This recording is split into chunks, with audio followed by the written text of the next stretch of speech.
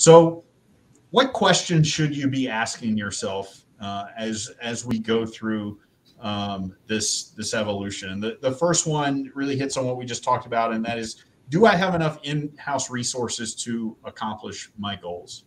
We talked earlier when we talk about inventory coming back. We talk about consumers continuing to slowly evolve and change. And, and, we said what got us here is not going to get us to the next level. And so I think it's a good time right now when things are are going pretty well to step back and go, do I have the right resources in place?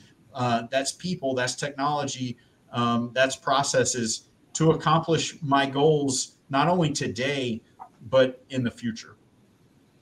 And I think another question, Jonathan, is uh, are my F&I options well represented in a digital space? Do you have the ability where a consumer can go in and research, do some of their um, research around F&I products? What products are being offered?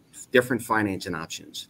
So, from a web, website standpoint, do you have that positioned in there so a consumer can do all the research? Then, once again, back to that 44% number, they're going to want to have some kind of human interaction to answer some questions. But as long as you're positioned well in the digital space, I think it gives you that connection with the uh, with the consumer. Yeah. So when we think about F and I in a modern world, and we talked about customers starting earlier in the process, customers wanting to go through the process in different ways, whether it be in store and remote. It's important that those F and I options may they may have to start earlier and the other thing to, to go into the next question is do I have processes in place to support customers in store and remote? And do am I in a place where the customer can say, hey, I want to take delivery and I want to do it at home? And I get just as excited about that deal as I get as a customer sitting in my showroom. And and I've got the right process in place to go, hey, no problem, uh, Mr. or Mrs. Customer.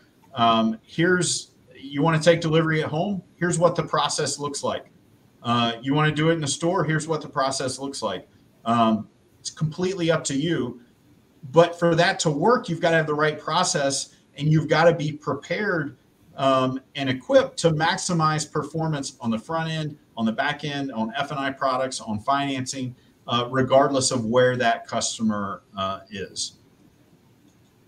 Yeah, I think it comes back to that uh, you know training and and processes and, and am i working with the right provider that will support my needs in the future back to that poll question there was three things it was process training and technology right do you have a partner that can position to help you refine your processes if it's f&i or sales process do you have the right provider that from a digital standpoint that can help support that need and as well as training do you have a right provider that can put them all together and be a strong partner from a training standpoint because they're not independent, right? You can have the best technology out there, but if you don't have a strong process that goes with it, it just not as it, it doesn't work as well.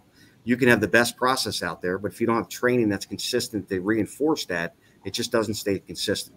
So I think really identifying that right provider that can really put all three of those together for you and really position yourself to ensure in the future that you're well positioned.